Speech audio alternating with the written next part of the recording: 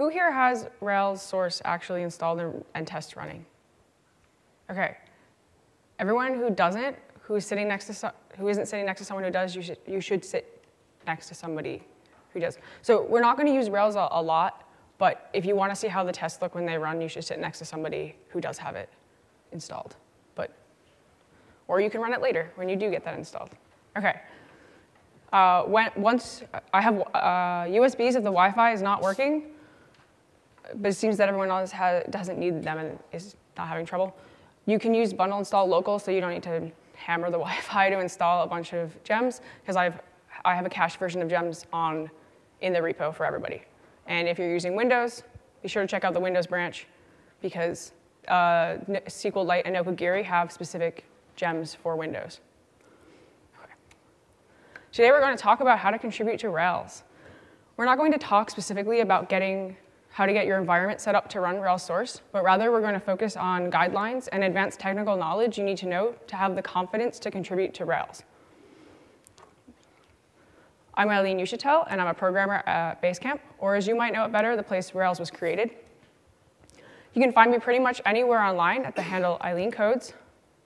I'm also on the Rails committers team, which means I can push directly to master, but I'm not on core, so I'm not allowed to have access to the Twitter account. I'm from a small city called Kingston, New York, which is about two hours north of New York City. It was the first capital of New York in 1777. This is our dog, Arya.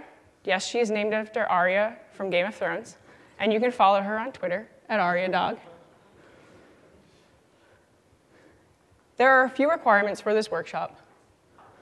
Although I would love to help everyone get their environment set up, we don't have time for that. So we're going to focus more on advanced Git and code traversing tools that you don't use every day. This isn't a beginner course in Rails, and I'll be assuming you know how to debug environment issues and install multiple versions of Ruby. You should also know how to install the required databases and be comfortable with Git and GitHub and know how to create branches, rebase, push, and clone. The goal of this workshop is to get you comfortable enough to contribute to Rails. I started contributing to Rails in March of last year after speaking at Mountain West, where I gave a talk on Active Record. Aaron Patterson was there, and it turned out I had discovered some bugs in Rails. We worked together to fix, fix that bug, and it made my introduction to Rails a lot easier and less intimidating. I want to help you feel as comfortable and confident as I do contributing to Rails, so we're going to focus on debugging issues traversing source code, and learning advanced Git so that when you're asked to defend a change or change your commit history, you're confident enough to do that. I'll be posting the slides from everything we learned here today, so don't worry if you miss something. You can always go back and do it later. I've had many people tell me that contributing to Rails is inaccessible because the issues tracker is difficult to parse. There are so many open pull requests. It's hard to tell what's worth working on and what's really an issue. It takes a lot of experience with the Rails team and the code base to understand what's a desired feature and what qualifies as a bug. To be honest, even I have trouble finding things to work on. But it's not just Rails that's hard to contribute to. Open source in general is pretty intimidating. You can put in a lot of time and effort, and sometimes the payoff is unappreciative users. But most of the time, developers are grateful for your time and your energy. They're so happy when you fix a problem for them. It's amazing to be able to help an entire community by fixing documentation or squashing a bug. You're literally saving other people hours of time. Although this talk is going to focus on specifically contributing to Rails, I assure you many of the techniques you learn can be applied to any open source project.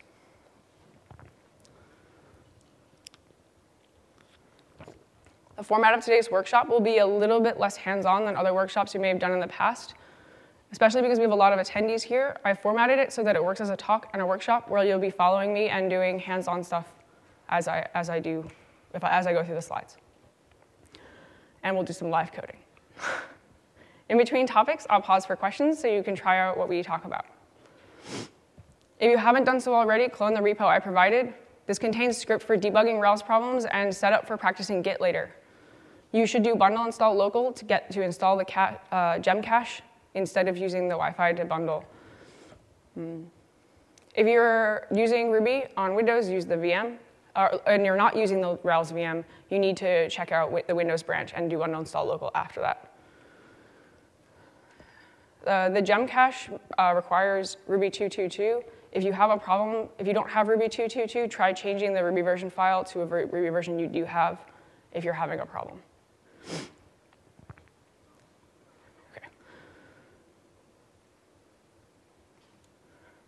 I'm going to touch on setting up your environment really quickly, but we're not going to talk much about this.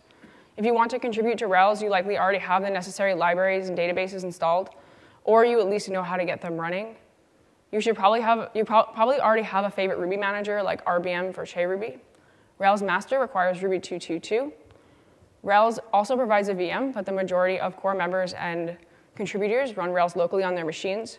If you use Windows, then you, it, might, it might be better that you use the VM because none of us have any idea how that works.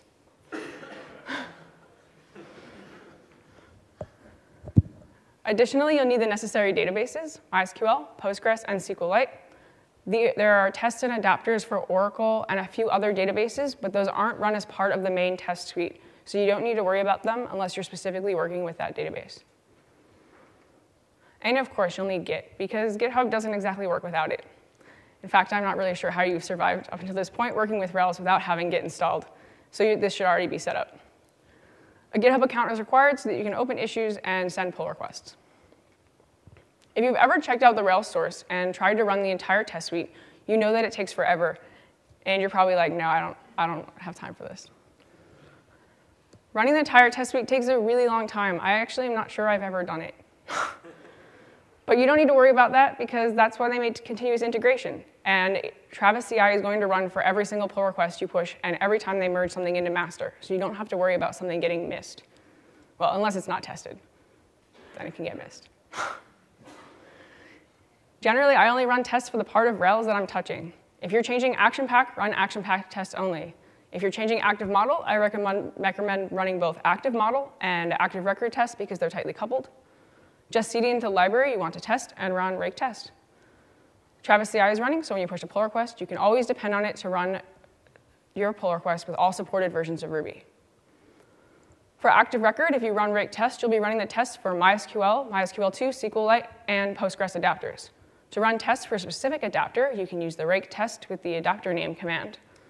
Generally, databases behave the same across behave the same unless you're touching the adapters, so running just SQLite and MySQL should generally be fine. To run a single test file, you can use ruby-ilib and the path to the test file. These, te these tests will default to using the SQLite adapter. To run a single test in a file, you can append -n and the test name to the previous command. Again, this will default to using the SQLite adapter. If you want to run a single test or single test case using, the specific, using a specific adapter, you use the ARCONN method to change the database adapter. In this example, the test will run using MySQL2 instead of SQLite. You can also run a single test with all adapters with bundle exec test and the test name. I want you to try running some of the Rails tests if you have Rails installed. If you don't have Rails installed, sit next to someone who does and look over their shoulder. cd into the active record directory and run the above commands. I'll be posting these slides later on, so if you don't have a chance to run these, it's okay. Uh, so the first, the first one will run all of the tests in active record using the SQLite adapter. The second command will run just the reflection test.rb file in active record using SQLite. And the third one will run the same reflection, reflection test file, but it's running a specific test in that file with the MySQL adapter. I'll give everyone five minutes to try that out, and let me know if you have any questions. Yes? Apparently, it takes 17 minutes to run the entire Rails test suite. That's good to know, because that's fast. I mean, probably compared to Ruby, right? Yeah, Rails, Rails Heist takes like 10 minutes by itself.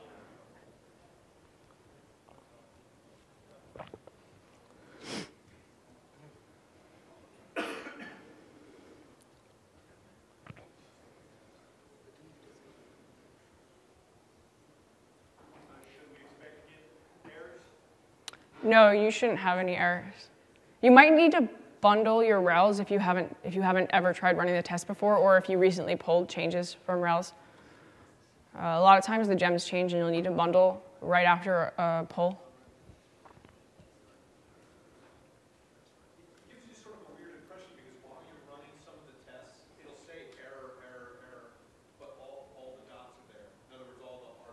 Oh, okay. Yes. Uh, so if you see notifications while you're running and it's not an E or an F, that's a warning, and sometimes it's just that there's a, uh, a lot of times you get a warning if you have a shadow variable, if the variable name is the same as another variable somewhere else, Rails will warn you about that. We try to remove that from the, the running test, but sometimes they get missed.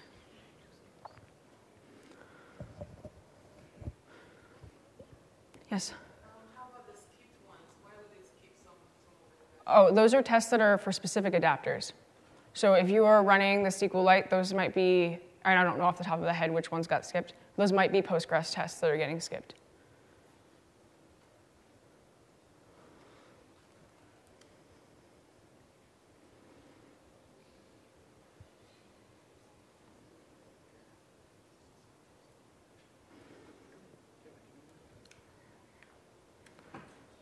All right, everybody ready to move on? Yeah, okay. You can always go back and look at the slides later. I'll post them right after, especially because we got good Wi-Fi. Every open source project has their own way of doing things. To learn more about this, you should read the contributing guideline on that project. Generally, opening an issue is the same across repos, but there are a few things that I want to go over that may be specific to Rails. When opening an issue, it helps to explain the problem as clearly as possible. There's a lot of code in Rails, and it's hard for us to know exactly what's happening. Cryptic titles with missing reproduction scripts won't help get your problem solved, and instead your issue will get closed. Rails contributors understand your frustration, but we can't help you if we don't understand or can't reproduce your issue. Never ever open a security report on the issues tracker. Doing this could result in someone without your best interest in mind getting a hold of an exploit. Security issues should be kept between you and the Rails security team to maintain the safety of everyone who uses Rails. To report security issues, always email security at rubyonrails.org or a core team member directly. Rails doesn't accept issues on, the, on GitHub that are, aren't a bug in Rails itself. Any issue pertaining to how do I do this or why isn't this working is usually related to a gem you're using or code that you wrote and won't be discussed on the issues tracker. This is to keep the number of open issues down so that you can get the help and attention you need. The community is huge, and there are a lot more developers on Stack Overflow that can help you debug your environment problems than, uh, than there are on the Rails GitHub issues tracker. If you already have an open pull request, there's no reason to open an issue. Some projects may prefer an issue to be paired with a pull request, but on the Rails repo, it's not necessary. This will just create excess noise for Rails core and committers. Pull requests don't need corresponding issues because searching issues on GitHub reveals both pull requests and issues. It's easier to have one place to discuss a bug or feature than two, but of course, if there's already an open pull request, an open issue, feel free to send a pull request to fix that bug. A big difference between Rails and other projects is we don't accept feature requests on the issues tracker. Don't get me wrong, we love new features. It's just that we have so much on our plates already that if you want to see something new in Rails, you either have to convince us to write it or be willing to write it yourself. If you already have a pull request, it's better you just send it uh, than ask for permission or if we want the feature. If you don't have a pull request and you're in doubt it will be accepted and you don't want to work on it until you have approval, then you can bring it up on the Rails core mailing list for debate. Including a test script can help immensely when opening a Rails issue. It's pretty much required for any active record or action controller uh, bug. It makes it easier to isolate your bug and to be sure that it's not another gem causing the problem. And now we're going to take a look at how to create a uh, runnable active record script. You can find examples for other executable bug report scripts in the bug reports templates directory on GitHub in the Rails repo. To follow along with your own copy, cd into your RailsConf scripts directory and open the script called AR script example.rb with your favorite text editor. I'll give everyone a minute to do that.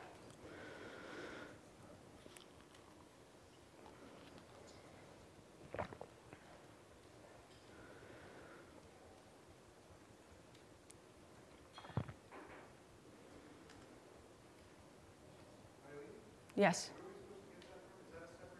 Yeah, that's, uh, that was on the first slide. I also have uh, USBs that have the, this repo on them. They're just like small scripts.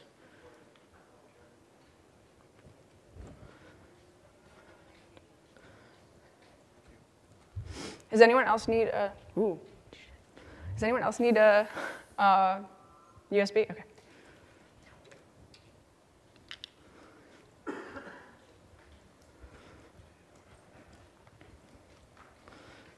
Pass them around if anyone else needs them. Because I only have 10. All right. Cool.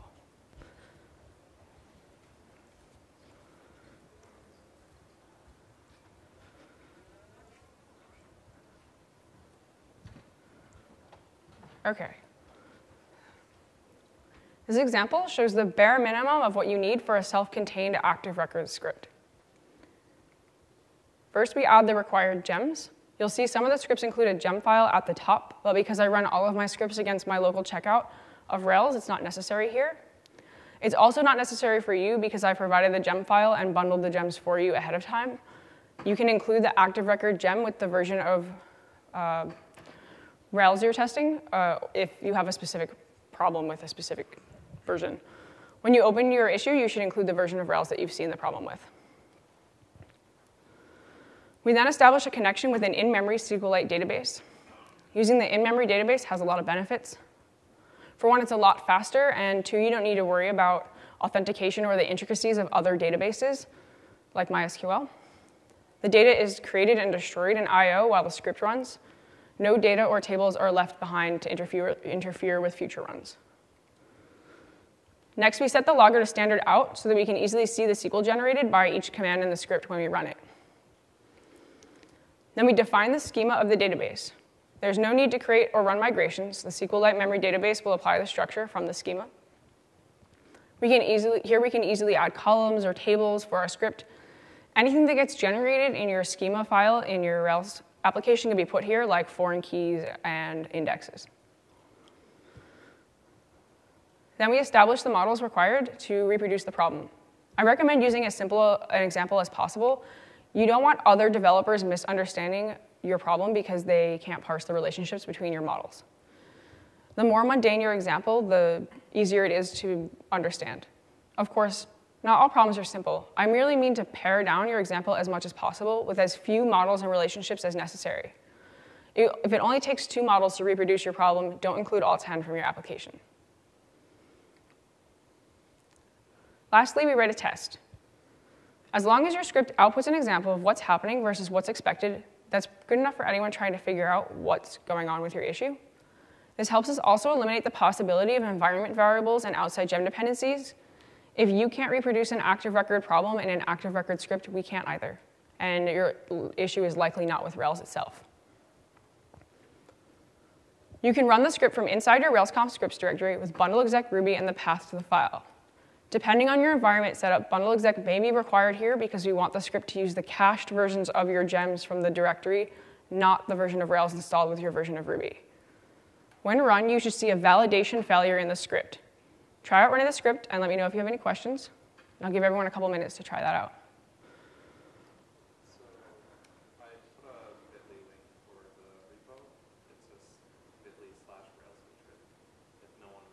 Okay. Thanks.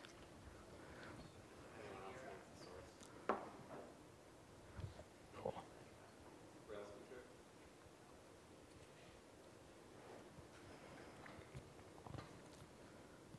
Everyone see that validation failure? Cool. Now we'll discuss guidelines for opening a pull request on the Rails project. Always open your pull request pointing to master unless your change affects a specific release. Don't point your branches to release branches because they will get, your pull requests will get automatically closed when a new version of Rails is released. That's just a GitHub thing. Not, we don't do that. Rails does not accept cosmetic changes to the code base. This means we won't merge in changes that change all the double quotes to single quotes, remove whitespace, or otherwise are refactorings that don't improve the readability of the code. The reason we have this rule is to keep git blame clean. We don't want to have to chase down a code change among cosmetic sweeping edits. Detailed commit messages help us and future contributors understand what, you're, what and why you're changing something. Imagine that GitHub disappeared tomorrow, but your commit messages live on forever. Sometimes I'm on a plane and I don't have Wi-Fi and I'm working on a Rails bug anyway. I don't want to have to wait till I land to go to GitHub to understand why you changed something. Don't assume that everyone knows X does this and should be avoided. Explain why X should be avoided in detail in your commit message. A good commit message includes a summary of the changes, 50 characters or less, and a more in-depth detailed description below. Feel free to include bullets, code samples, anything that can help someone understand why you made a change. Often we'll ask programmers to squash their commits. This makes it a lot easier to backport changes and with cherry pick and keeps the git log clear and concise. Generally, if your change is small with a test, that should be just one commit. If you spent months on a feature and have clean history, you'll likely get all your commits merged in without squashing into a single commit as long as your history is clean. Later on, we'll go over how to squash commits. Rails gets a lot of pull requests, and sometimes we fall behind reviewing them or aren't sure they should be merged in as is. Sometimes we just don't have time to review them. Unless you have a good reason, don't constantly ping members of the team asking for a review. That said, smaller, concise changes are easier to parse and maybe faster to get merged in. Please don't plus one issues you want fixed or pull requests you want merged in. Only comment on a PR issue if you have added insight. For example, you've run the patch and confirmed that it fixes the original issue. Be sure to read all of the other comments first. Often they point to why a proposed fix won't work and can't be merged in. It's not uncommon for original reporters to become too busy to remain involved. Be, be proactive, not reactive, when commenting on Rails issues. Yes? Sure.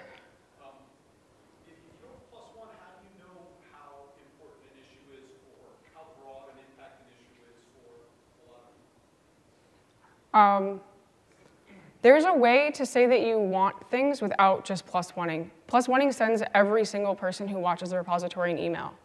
And that's kind of what, and sometimes you'll just see issues that have lots of plus ones, but if you read the beginning of it, you'll see why, you'll see why it's not, either it's not as simple as just fixing it. Um, we what I, and what I mean by be proactive is if no one's fixing it, then ask for help how to fix it rather than plus oneing it because it's usually not a case of we don't care. It's a case of either we don't know how to fix it or uh, there, we'll see in earlier comments, maybe it can't be fixed for some reason.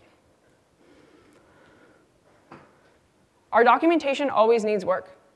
Sometimes documentation is missing or code is changed and it's wrong. Occasionally it's just grammatically incorrect, even if the content isn't. We love documentation pull requests, and I personally feel like it's one of the best contributions you can make. It's a great way to gain understanding of the Rails codebase and the contribution process. Making sure documentation is correct prevents tons and tons of old and new developers from having a bad day. If you see incorrect documentation, you should send a pull request as soon as possible.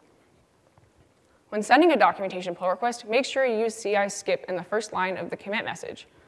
This makes sure that Travis CI doesn't run on your documentation pull request. Rails is one of the largest and most contributed to code bases on Travis CI.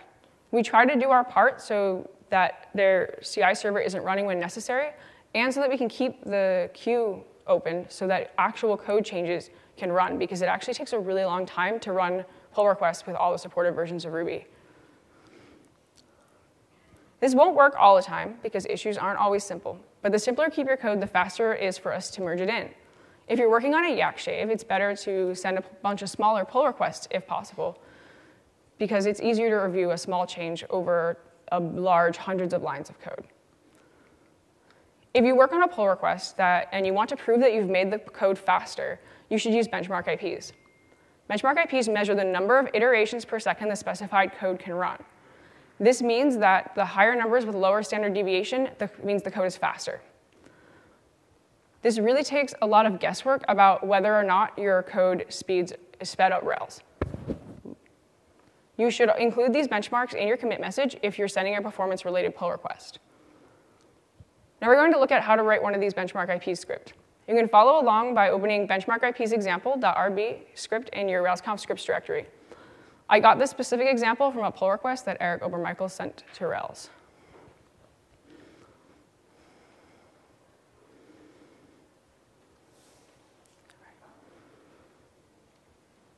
So this is an example of a benchmark IP script. It defines two methods that demonstrate two ways of sampling an array. As far as benchmark-ips go, this is a very simple script. Sometimes you can't have the old slow method and the new fast method in the same script because they require too many changes to the internals of Rails. So you'll have to write two scripts and compare them yourself. For this case, we are simply comparing two ways of sampling an array outside of Rails, so we don't need two scripts. First, we require benchmark-ips. Then we defined uh, the two methods we need to compare for speed. The first slow method shuffles the array and takes the first item. The second fast method uses the, uses the sample method on the array.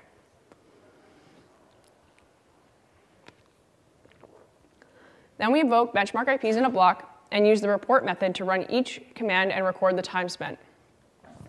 The compare method will report the number of times slower the fast method, the slow method is than the fast method. Time slow. First, the script calculates the number of records it can run. It can iterate in 100 milliseconds, and then calculates the differences with standard deviation, telling us how far the measurements are from the average. A high standard deviation means that the code is varying too much. Remember that your system, memory, and available CPU and other factors will affect the results, so you need to focus on the standard deviation and the comparison. Here we can see on that on my machine, array.shuffle.first is 18 times slower than array.sample. I want you to practice running the script with Ruby. Go into your RailsConf scripts directory and run the benchmark-ips example. Your times will not be exactly the same as mine, but you should still see that there's a big difference between the slow and the fast methods. And I'll give everyone a minute to try that out.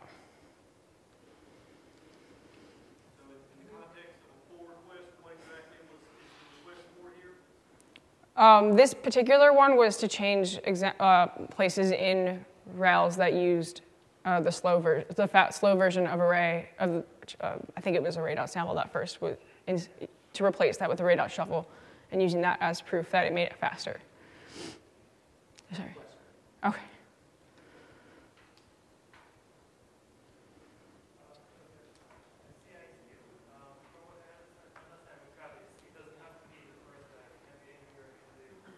Uh, I've seen it not run. I've seen it run when it's in the bottom of the commit message. I'm not sure exactly where it has to. I know that it does definitely doesn't run when it's in the first line, but I've seen people put it in the body and it, it will still run. I don't know. Maybe there, maybe there's something in our settings that is causing that, but um, it also makes it clear from the very beginning that it's a documentation pull request rather than having to read through it. Not that that's a, a reason. I don't know, it didn't work one time when it wasn't anywhere, when it was anywhere. Anyway, doesn't matter. Just, I always forget to put it in there anyway, so. I just have the power to stop Travis from running. Yeah. Writing tests is not always fun, especially when you aren't sure what models and tables there are in the Rails test suite. If you find a regression or bug, you must add a test fix a regression or bug, you must add a test. If you're adding a new feature, you must add a test. The only time you don't need to add a test is when you're refactoring existing code and not altering the behavior of Rails, but in that case, no test should fail. Your bug, your bug fix or feature requests will not get merged without test, and because tests help us protect against regressions in other people's applications.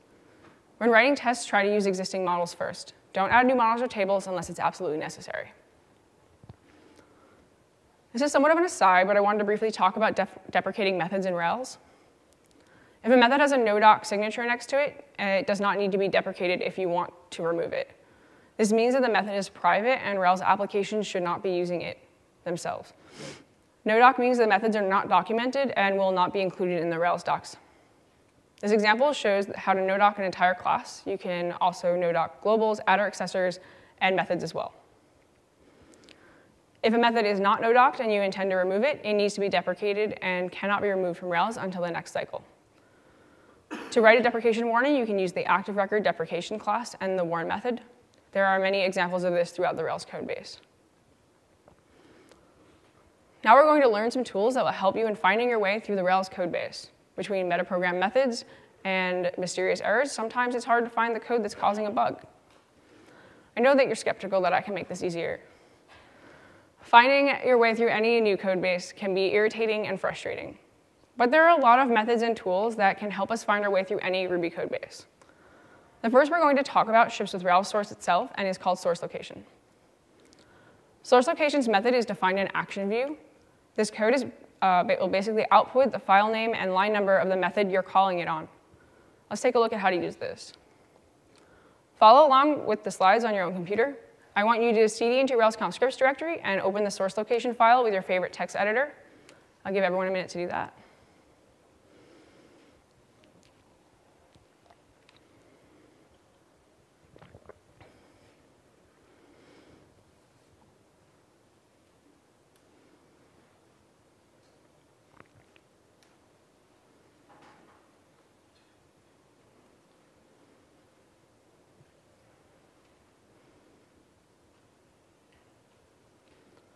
Okay.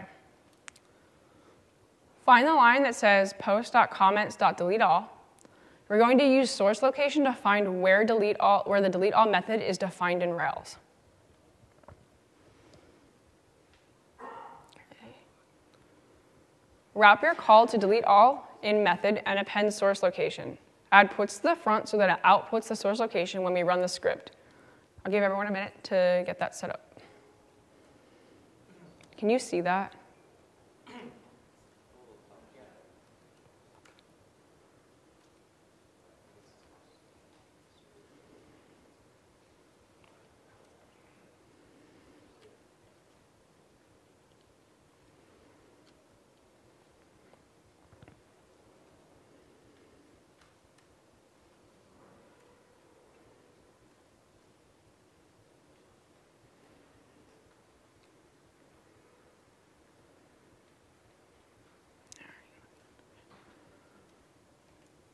Now run the script with bundle exec Ruby and the script name as we did before.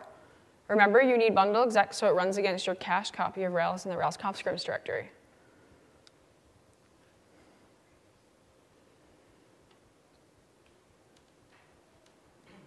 And you should see the path, and I'll, I'll, go to the next slide that'll show you what it looks like. You should see the path to the file and the line number uh, among a bunch of other SQL. It should look like this. There's a bunch of other stuff there, but it should be, it should be on in collection proxy. The line number may vary depend if it if it changed since I wrote these slides, which it probably hopefully didn't. And so now we know where delete all is defined on a collection proxy in Rails. And if we look at that file, we can see that delete all method is calling delete all on the association. So we're going to need to find the definition, that, the definition of delete all on association to figure out what the code is actually doing, because this definition doesn't really help us a lot. In this case, it, you could continue using source location with, uh, with, with inside Rails to find the definition, or you could use something like ctags instead. Um, I'm not going to have everyone kill the Wi-Fi by installing ctags right now, so just don't do this yet, and you can do it later. Uh, I promise you can ask me questions on Twitter if you get confused. Um, ctags indexes your code base, methods, classes, and variables in a, in, and other identifiers in a tags file. This allows you to put your cursor on a method name and find where it is defined in, in the Rails code, in any code base, but particularly Rails for this example. You can install ctags with Homebrew on Mac with apt-get, or yum, uh, uh, bleh, Homebrew on Mac, or apt-get and yum on Linux. There's a version for Windows, but it's not as simple as running one command. Does anyone actually have Windows in here? All right. I will stop, I will stop giving you Windows examples. Yeah. Well, I wanted, to, I wanted to make sure if there were any Windows users, they didn't feel unloved. Uh, this is the bare minimum of what you need to index the Rails code base, uh, is to run ctags-r dot in your Rails directory. But a lot of people don't like their tags file to sit in the main directory of their uh, applications, so they put them in their git, .git directory instead. And you can do that with .git, git slash tags instead. From this point on, I'm only showing examples for Vim because that's what I use and I'm familiar with. To use ctags with Sublime or TextMate, follow the instructions at these repos on GitHub. And you, you can get this, these uh, URLs later. Actually, if you just search Google, they'll come up as the first thing.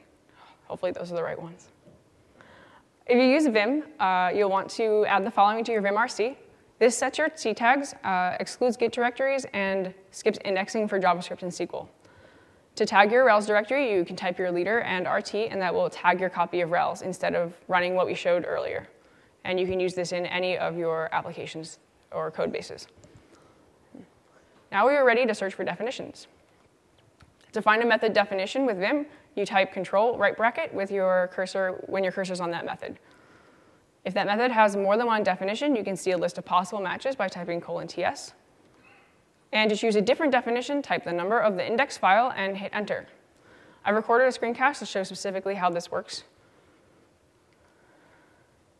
So we're going to open the file we were looking at earlier, collection proxy, and look at line 442 where delete all is defined on the collection proxy. And we're going to put our cursor on the delete all, and we're going to use con control right bracket, and it tells us that there is one of five more tags. So with TS, we're going to look at the list of tags, and looking at that, uh, we can see the one that we actually currently are looking at, and then the next one's probably not it, because that's active job. So it's probably number three, because that's in collection association. So we're going to type three and enter, and here we found the definition of delete all. But this doesn't really tell us a lot, because there's a lot of there's another method in there. So we're going to go look at delete or nullify all records and see how that's defined. And because there's only one definition of it, it's going to take us right to the definition rather than having us choose a file first.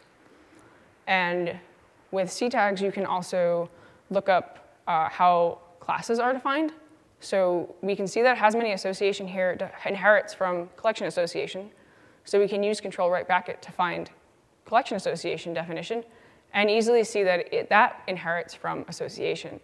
And you can see with this how we can easily move through a code base, finding different definitions of methods, classes, whatever we need, rather than using ACK or, or grep to find definitions, because that takes actually a lot longer than moving through the code base with ctags.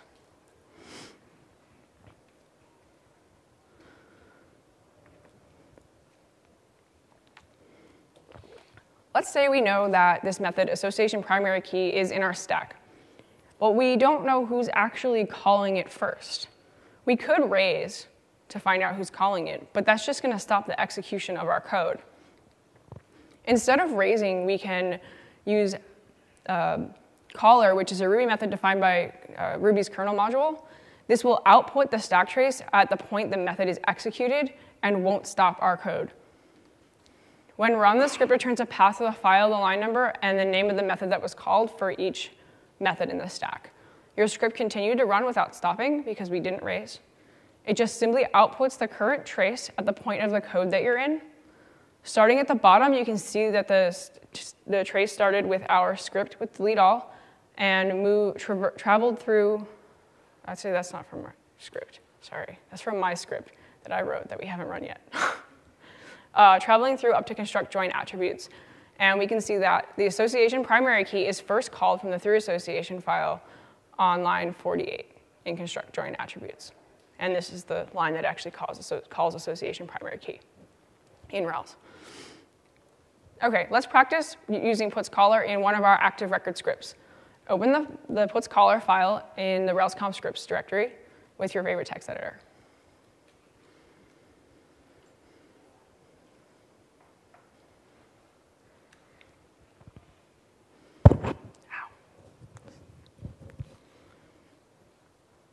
Okay. We can see that in this file, there's a callback defined that is run after create, and it just outputs, I am a callback. This is very sophisticated.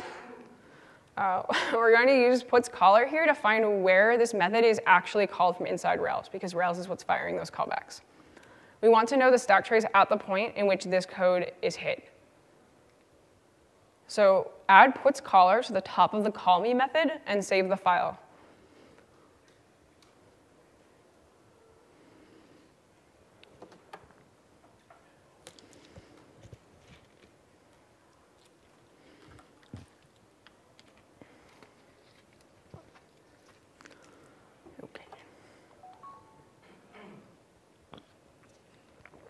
And then run the script like we did before with bundle exec Ruby.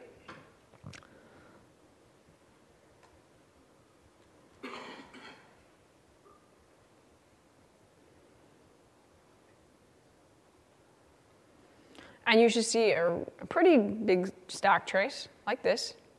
And if you go to the very top, you can see that this that that callback is called from uh, callbacks.rb on line 428 in the method make lambda. And if we go there, we can see the real reason why some developers hate callbacks in Rails. I call this method lambda vomit. and every time someone's like, oh, I love callbacks, I send them to this code and ask them to tell me what this is doing. okay, so now we know how to find who's calling method. But what if we needed to search for a dynamically created method instead, like ship attributes? Source location and puts caller isn't going to work there. The reason we can't use source location and ctags is because ship attributes is not actually defined as ship attributes. And ctags is kind of uh, not very smart about, it doesn't know, like has no idea that that's actually the definition of that method, so it can't find it. And we can't use puts caller because we're not calling a method that, we, that will tell us. Uh, we can't put puts caller inside that method because we don't know what that method is, or we don't actually have that method. Um, to solve this problem, we can use TracePoint. TracePoint ships with Ruby 2.0. Unfortunately, it's not available in 1.9 or lower, but with Rails Master, you should be using Ruby 2.2.2 anyway, so that won't be a problem. TracePoint provides the functionality of kernel set trace function in an easy-to-use object-oriented API. With TracePoint, you can specify the types of events you want to listen for and can even filter the results. First, we call TracePoint and pass call. This will filter by anything calling a Ruby method. We open a block and put the arguments returned. That will be our stack trace. And then we enable TracePoint with TP enable. This will begin capturing our stack trace. We then call the code we want to trace. And finally, we disable TracePoint, indicating for the uh, trace to stop. Only the stack between TP enable and TP disable will be output. I say only, but it's gigantic. uh, TracePoint, um, the, the output is going to be really, really long and seems kind of difficult to read. But for our purposes, we only care about the top line where ship attributes is defined. And we can see that that's in nested attributes on line 347. And if we go there, we can see why this method is uh, created why this method in the Rails framework simply can't be found with ctags because it's dynamically created based on your association name that you give to Rails.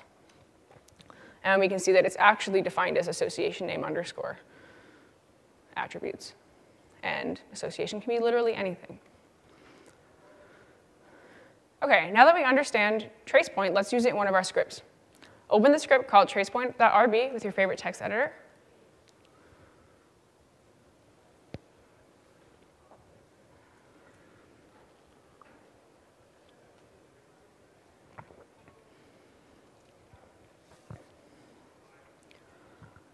So we have a user class, and that user class has one avatar and an avatar class that belongs to the user.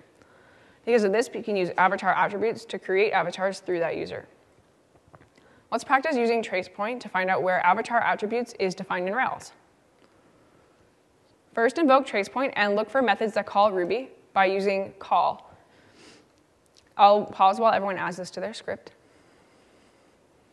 Again, this is going to just return methods that are, that are uh, methods that are called by Ruby itself. And then the arguments that will be output, that's our stack trace. That's going to be returned.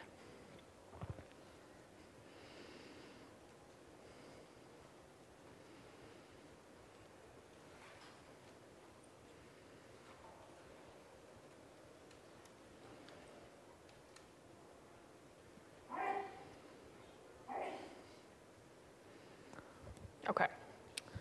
Uh, then put TP enable before the call to avatar attributes and TP disable after. Again, I'll wait for everyone to get this all added in. And if you're ahead, you can run it. If you remember, how, uh, you can use bundle exec Ruby to run the script. And we'll see that on the next slide if you're not ahead.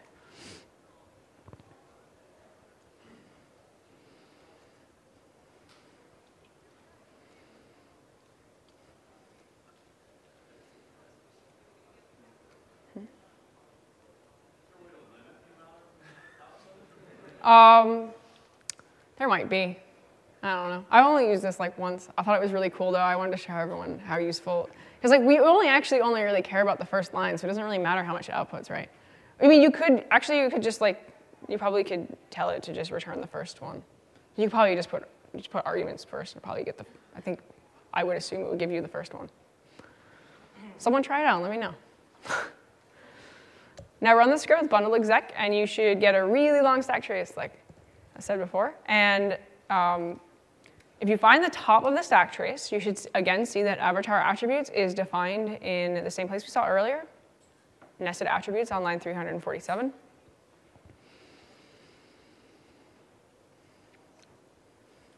And after this, I promise we're done with stack traces. Pipe it in, in the head, and then that'll give you the first ten lines. Yeah, yeah.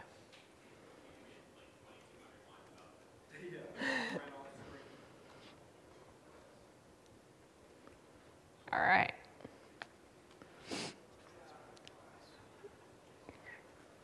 And this is where it, you should see it defined. Uh, again, line number, line number might, I think the line number is correct. Sometimes it changes a little bit. People like to touch the callback code. All right. So, all of these guidelines and code traversing would be useless if you didn't know the powerful Git tools to help you send pull requests with perfect commit history. Before we start, if you don't want to lose all of the changes you made to your active record scripts, add your changes and commit them. You won't be able to push because you don't have permissions to my repo, but you won't lose changes either.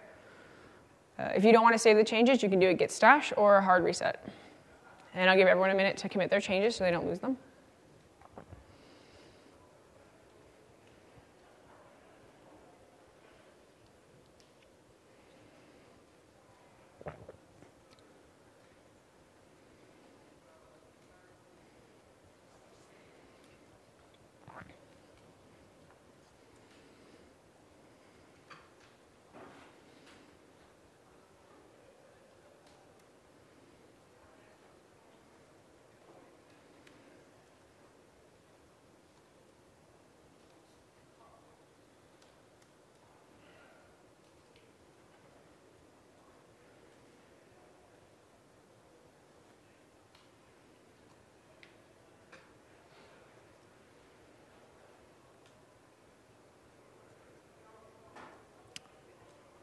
Okay.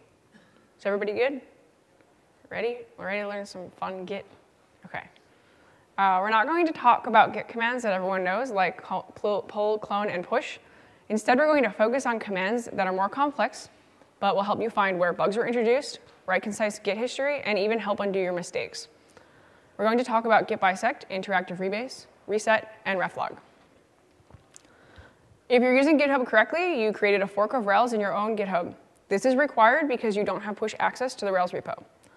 You'll need to update your master often to be up to date with the main Rails repo. To do this, you'll need to add a remote upstream to your local branch.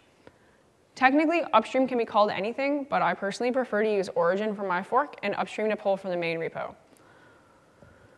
First, we'll need to add the remote to our branch with git remote add upstream and the URL to the original project. I actually made a mistake in the blog post about Rails, so if you did that, uh, you should, you need, you're gonna need to remove it and redo it um, if you followed my instructions exactly. So to remove or uh, remotes, you can use git remote remove upstream. Again, you only need to do the remove part if you um, uh, copied my blog post exactly.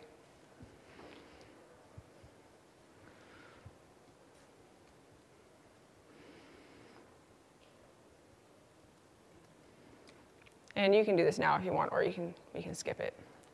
I was going to skip this because I didn't think we had Wi-Fi, but we appear to have pretty good Wi-Fi, so.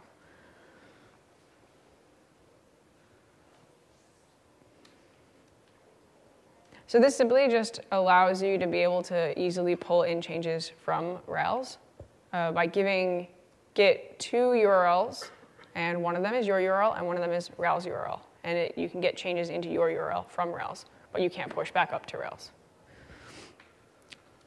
And you can get those changes uh, from Rails master from GitHub by doing git pull dash dash rebase upstream master. This command will do a git fetch and then replay your changes on top of upstream master from your origin, on top of your origin master from upstream master.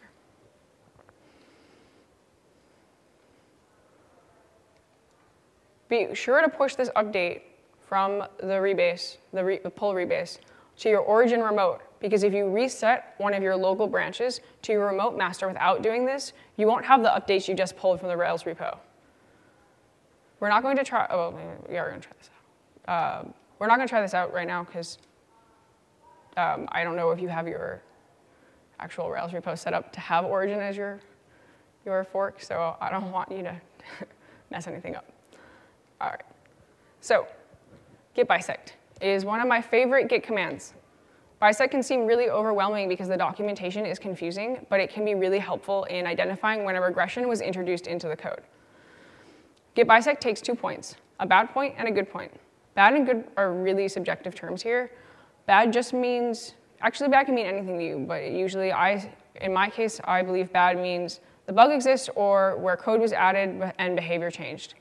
Uh, good just means the behavior bug that you're looking for does not exist there in that revision. Uh, bisect takes those two points and starting in the middle, picks a new revision for you to test if it's good or bad. I recommend using an active record script like I talked about earlier when using git bisect because bisect needs to be run in the root directory and any test you might be relying on could have changed in the commits that you're bisecting. To start, you need a new, uh, to start you need to find a revision that's not broken. You can give git bisect a branch, a commit ref, or a tag. Once you know where the bug exists and where it does not, you can start. Rails tags every release, so it's pretty simple to check out a tag and see if the bug exists there or not. When you have the ref that caused the bug, you can start a bisect with git bisect start. You then need to give it a bad point where the bug exists and a good point where the regression does not exist. To name master as the bad starting point, simply type git bisect bad. To name a tag as good, type git bisect good and the tag name. To demonstrate, I recorded a screencast of me doing it git bisect. In this demonstration, I'm using a script that was provided in a bug report to Rails. So uh, the bug report included this, included this uh, bug report template already. It has the required gems. It does the connection to the SQLite database that we talked about earlier. It defines a schema that just has a post table it has a post class that defines a custom arel scope. And then we finally have a test that uh, is just asserting that the custom arel scope has the, expect, the SQL that we expect. So we're going to run this test against version 418 on Rails. And you can see that we have this error that uh, we cannot visit the, the arel, whatever. I missed it. uh, then we're going to check out version 417, and we're going to run the script again, and we can see the script passes. So the bug exists on 418, and it does not exist on 417. So we're going to start the bisect with git bisect start, and then we're going to name 418 as bad, and we're going to name 417 as good. And now we can start, and now, and now bisect has picked a revision for us to test from the middle and we have about five steps before we know where the bug is. So we run the script, and because this passes, this revision is good. So now Bisect has picked a new revision for us to test based on that. And because we have the arel select manager bug, we can say that this is a bad. And then we're going to run it again, and it picks a new revision. And this is good because the test passes. And then a new revision. And it can get a little bit tedious. Uh, there's actually a way to automate this, but we're not going to go over that today. And you keep running it until it gives you the first bad commit. And we can see that it was on September 4th, and it's all Aaron Patterson's fault. and you can use git show to see exactly what changed in that, uh, in that commit. And when you're done, you need to go, uh, if you need to go back and get out of the reset, uh, out of the bisect, you can type git bisect reset, and it will return you back to where you started, and you're no longer in a revision. Okay, because bisect can be kind of confusing, we're going to do this one together, and we're going to live code all, the uh, all of the git sections together. So I want you to follow along with me in your terminal as we bisect uh, a branch in the RailsConf scripts repo. So you guys can all see that, right? Because it was you couldn't see it before. Okay. So if you use the if you got the, the scripts from the repo, from the GitHub repo, you're to need to do a git fetch. And then check out the practicing git branch. Check out. I can't spell pract. All right, so you check out the practicing git branch.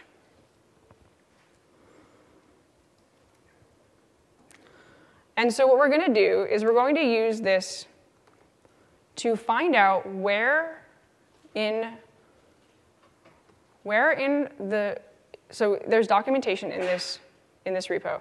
We're going to use bisect to find where the bisect documentation was introduced into the README of this repo. So first, we're going to cat the README, and then we're going to look at the bisect section. If I can get my notes. Okay. Cat README. And we can see at the bottom there that there is a section about bisecting in the documentation. We're going to go back to master with git checkout master. And we're going to cat the README again. And we can see that there is no bisecting documentation there. Okay. All right. So now that we know that we, we have a good and we have a bad point, the good point is master, the bad point is practicing Git because the thing we're looking for exists there. Again, merely subjective terms, they don't really actually mean anything. You just need to keep them separate in your head so that's why I define it as behavior that exists versus behavior that doesn't exist. In this case, behavior is documentation existing. So we're to go back to the practicing Git branch, and we're going to start our we're going to start our bisect. So git bisect start. Oops, I have two G's there.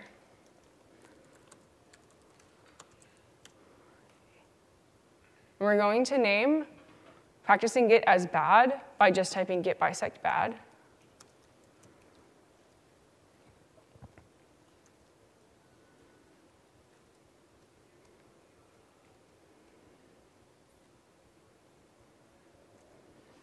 And then we're going to name master as good with git bisect and the branch name. Uh, bisect good and the branch name. So git bisect good master. And then we're in a, then now we're in a bisect and we're ready to start saying good or bad to each revision and find where this was introduced. So now we've started, we can cat the README again. And we see that there's more documentation there was on master, but I still don't see anything about bisect. So this is a good revision. All right, now bisect has found a new revision for us to test. And cat the README again. And we see code about bisect, we see documentation about bisect. So this is a bad revision because it has the behavior that we're looking for. So git bisect bad. And this is obviously a very simple example compared to running active record scripts, but it gives you the idea of how you can separate your subjective knowledge of good and bad and how you can use bisect to find where something happened. Um, and you know that you're almost done because it says zero revisions left after this. So cat the readme again. And we still have bisect code, so this one is also bad. So we had a good and two bads. And when you're done with that, you should see this is the first bad commit, and if you found the commit that says add section about bisecting, this is the commit we want to find when are practicing bisecting, then you have successfully done your first bisect.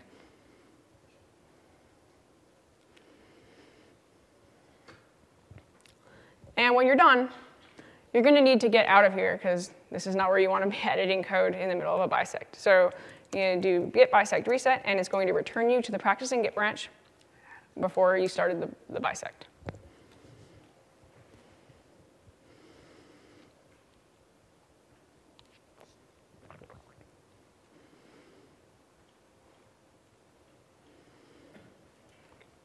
All right. A useful git command is git commit amend. Amend allows you to edit your commit, your last commit message or commit.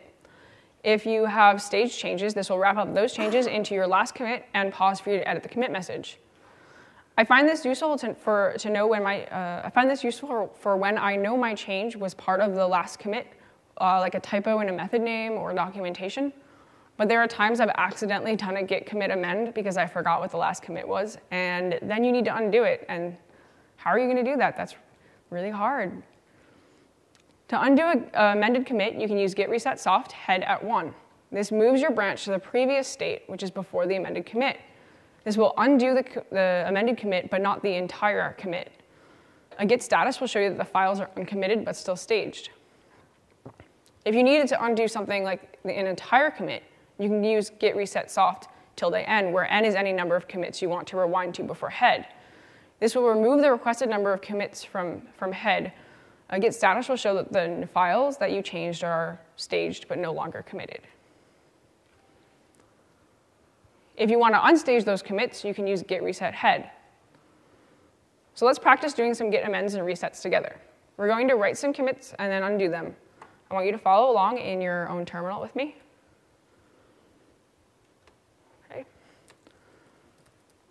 All right, so on your practicing Git branch, uh, open the README with your favorite text editor and just add a section to the bottom and save it.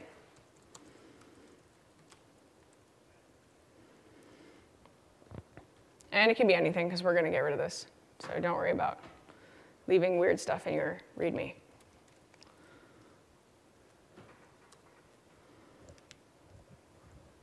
And when you're done doing that, we can add the commits with git add. And then we're going to use a git, we're going to use an amend, we're going to amend the commit instead of writing a new commit. So git commit dash dash amend. And then we realize, oh no, I did not mean to add a new section to my commit about fixing spacing. That's not okay. Those are not the same thing. I don't, and I don't want to edit this commit to include two changes that are completely unrelated to each other. I, how are we going to, there's no way to get out of this situation. We're stuck. We're not. What? Oh. Well, you could do that, but then you end up with like this weird file in your Vim. So quit and we can easily undo the commit that we did with git reset soft head at one. And again, this is going to rewind our history to the previous state we were in, but it's not going to undo the entire commit. So if you do a git status, you'll see that the changes are staged. And if you do, then to unstage them, you can use git reset head in all caps. And a git diff I'll show you that we only undid the little part we just added, not the entire commit. This is, it should only be the stuff that you just changed. And so now, now we realize that we don't actually want all the changes we made, and we could stash, but we're concerned that we made other changes and we haven't pushed them, and we really just want our branch to be exactly the same as the remote. So we're gonna do a hard reset, uh, careful with this because you can lose, well, we're gonna go over how to get it back if you do lose stuff, but if you, you're gonna lose anything that's not pushed to the remote. But sometimes you have like a staging branch and you wanna reset it to master. Uh, you don't wanna, you, you don't need what was on it, whatever was on it before. You wanna reset it to master. So in that case, you can use git reset hard origin for the remote, or that could be upstream if you wanted to reset it to upstream master or something. And we're going to reset it to our practicing Git. Practice. So that we know that this, I probably need to spell correctly. So that we know that it's back to where it started. And we ha don't have any weird changes that we don't want, and git status will show us that it got rid of the changes we had, and we don't need to worry about that.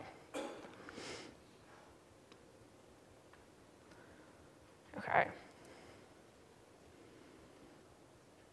Any questions so far about that stuff?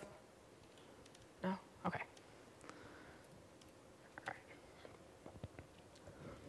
Sometimes the Rails team will ask you to squash your commits. If you have perfect commit history and are sending a pull request that you spent a lot of time on, you can get more commits for that pull request. A pull request with lots of oops, that's, that was wrong commits isn't going to get merged until those commits are gone. Uh, we want to make sure that the Git history is clean. Uh, in this case, your best friend is interactive rebase. After making sure your master is up to date, do git rebase-i master on your branch. I recommend doing this after you've already rebased and resolved your conflicts because we don't want to be resolving conflicts while we're editing our branch's history. It can get really confusing if you're trying to change your commit messages and fix conflicts at the same time. The best part about interactive rebase is you look like a genius. You will always have perfect commit history, and you look like you knew what you were doing the whole time. Like no one ever has to know how many mistakes you made. When you start an interactive rebase, it looks like this. Pick is, just means use the commit as is. This is the default when you start an interactive rebase. Reword stops so that you can update the commit message, but you can't change the commit itself.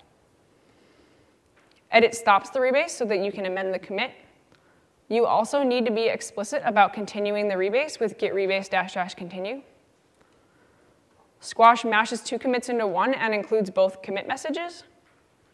And fixup is like squash, but instead of including both commit messages, it combines the changes from the commits and trashes the second commit message. Exec allows you to run commit messages as commands. Uh, this sounds absolutely terrifying, and I've never actually used it. so if anyone knows how useful it is, I'd love to know. uh, now we're going to practice doing an interactive rebase together. I want you to follow along in your terminal like you've been doing before.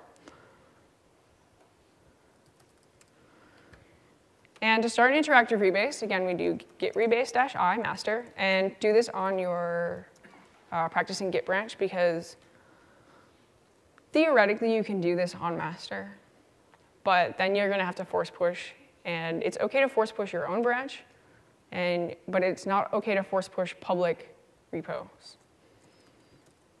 So git rebase-i master. And we've got six commits. And let's change the bottom one. Uh, let's, let's edit the commit message. So change the word pick to edit on the sixth commit.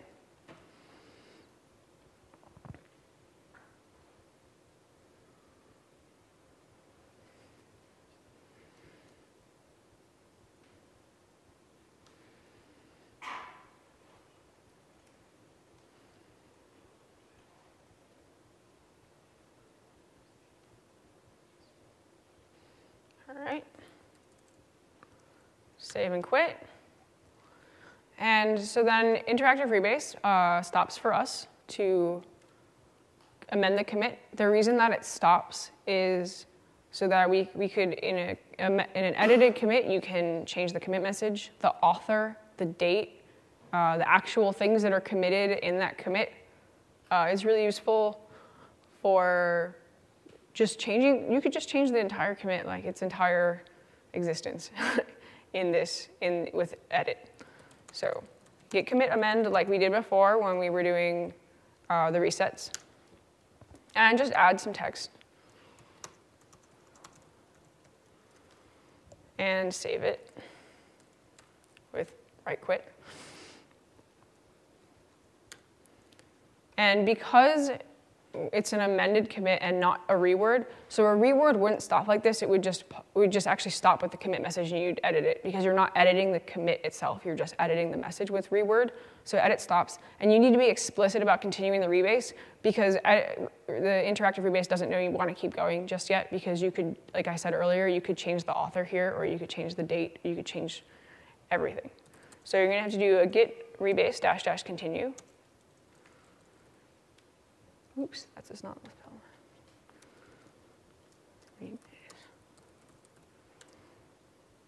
And if you do a git log, you'll see that you you should have uh, the edited commit in your history now. And let's practice doing a squash. Uh, we're going to see what actually doing a, a, full squash with interactive rebase is like. So start a new rebase with git rebase-i master. And we're going to change all of the picks to squash except for the first one. We don't want to change the first one because there's nothing to squash it into and the rebase will error. So if you don't know how to use Vim, you need to use uh, colon. You can, use, you can either change them manually or you can use colon percent s slash pick slash squash slash gc. This is going to replace pick with squash but pause and ask us first if we want to change it. So you hit enter, and it's no for the first one, and then yes, yes, yes, yes, yes. So we're going to change all of them except for the first one to be squash.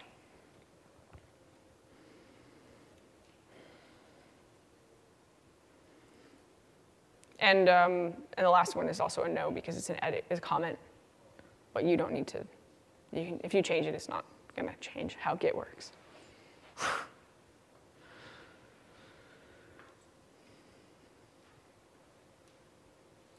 Okay? And then save and quit. And squash stops so that if you don't actually want all of these commit messages in there, uh, you could edit it here. Sometimes I will squash and I will completely change the commit messages because they don't make sense as two separate commit messages. And I will just write a whole new commit message. For our purposes, we'll just save and quit. And if you do a git log again, you can see all of the commit messages in one commit there. It's pretty cool. All right. When you're done, if you've already opened a pull request uh, to on Rails, you're going to need to force push. You can't, you can't do that here because you don't have permission to push to my repo, but um, I want you to know that it's okay to force push your branches on Rails. Uh, if you had a co uh, commit bit and were allowed to push to Rails, you're not allowed to force push. But if you have your own branch on your own repo, it's okay to force push. Uh, a lot of times we see developers will close their pull request and open a new one because they think they can't force push. Don't worry about it. You won't get in trouble. Uh, we actually we prefer you not to open a new pull request because then we have two pull requests instead of just one. So don't worry about force pushing. And um, you can always do that on your own stuff.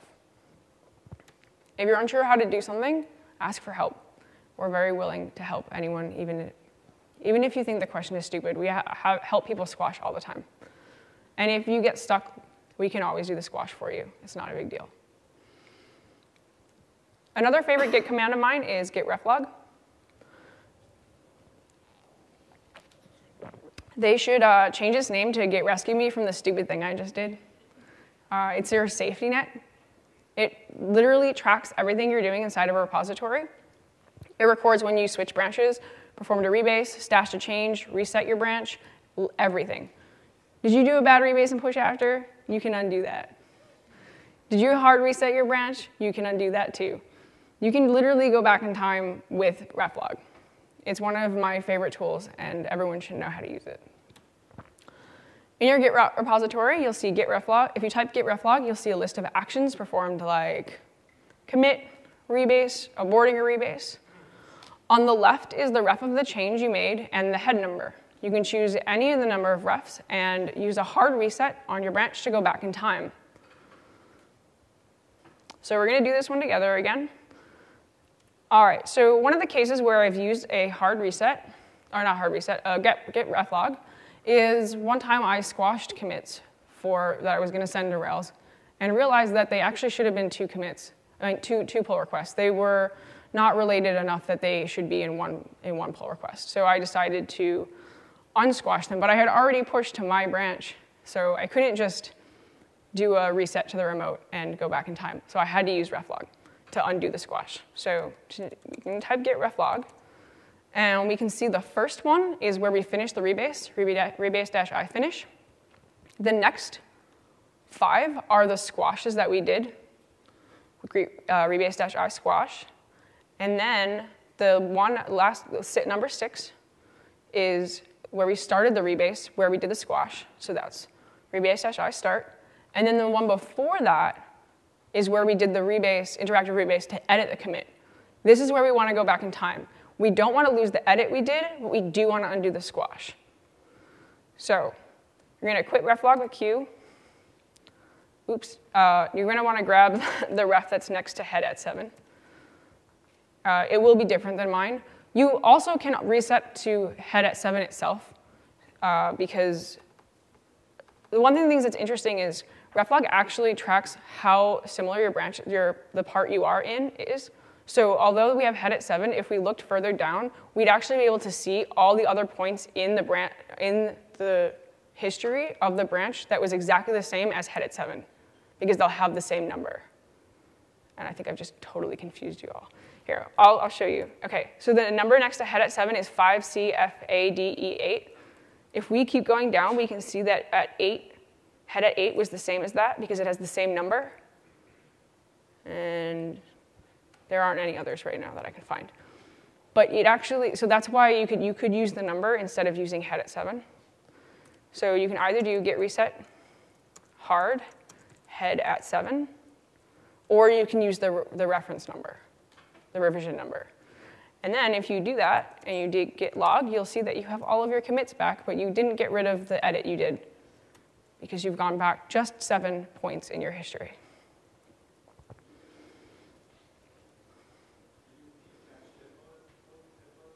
Nope.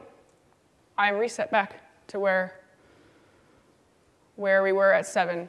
If you if your numbers your numbers may vary, they shouldn't though. Like your seven should be the same as mine if you were doing everything that that I was doing. But um, if you accidentally took one that was in the middle of a, re- of a rebase, you could end up in a detached head state probably. Um, and it's okay because like if you mess up reflog, it also recorded you messing up. So you can just keep going backwards until you until you figure out where you didn't mess up. So you, and, and there is some garbage collection, and you can't probably you can't go back like 20 days later and get back something that you did probably, but maybe if it didn't, you can. I think you can control when it does the garbage collection, when it trashes the ref log. It's pretty cool. All right. One of the biggest questions I get is how to find issues to work on. Uh, the issues tracker is difficult to parse. Even with all of my work on Rails, I've actually only ever fixed one or two issues I didn't find or create myself. Uh, so what should you work on? One of the best ways to help Rails find regressions is to test the release candidates. Generally, the release hasn't been used in production, and there are sure to be regressions. Having a small test app that you can easily upgrade to check if everything is working okay is a really good way to test the releases and find bugs that you can fix. As I've said many times before, fixing incorrect documentation is one of the most important contributions you can make. Uh, this can save others so much time if documentation is correct. We have lots of sections of the guides that are work in progress, and there are always grammatical errors that, and spelling mistakes that need attention. It's a really, really good way to uh, gain uh, uh experience in sending pull requests to Rails and getting stuff merged in a lot of people are like, oh, documentation is too easy. Documentation is not easy. Documentation is the best part of Rails, and it needs the most help. And a lot of times, people have been working on documentation, and they find a bug because the documentation doesn't match, and that's an easy way to find if something is not right. You'd have to ask. or make a case for which one is right. Um, a lot of times the code is right because the documentation gets forgotten about. But sometimes when you're fixing the documentation, you'll find that there's actually something that got totally missed in there. Um, you should focus on your strengths. If you are not interested in SQL or aren't good at it, focus on something that you're more confident in. If HTTP requests are your thing, work on Action Dispatch. If front end is more your thing, work on Action View or template generators. There's something for everyone in Rails. Active Job and Web Console are new gems inside Rails that don't get much attention as, say, as, as much attention as, say, Active Record.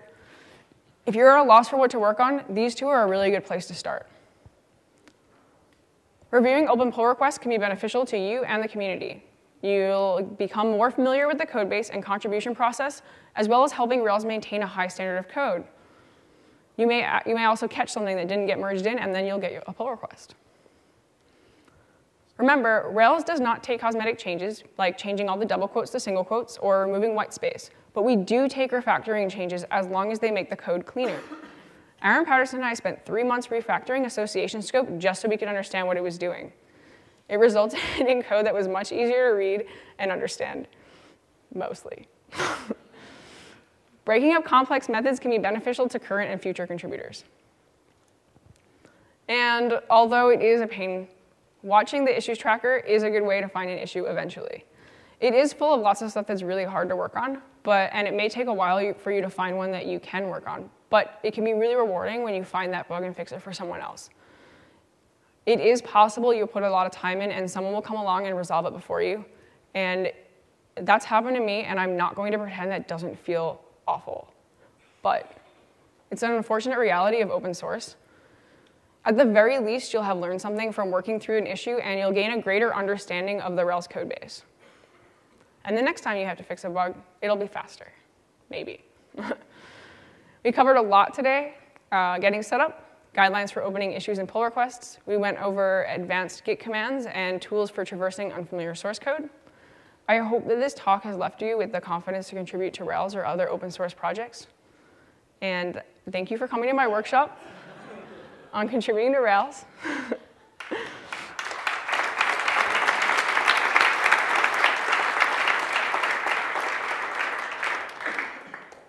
Again, you can find me anywhere online at Eileen Codes. Uh, I'll be posting these sl- slides on Speaker Deck later, and of course, you can download the repo at any time.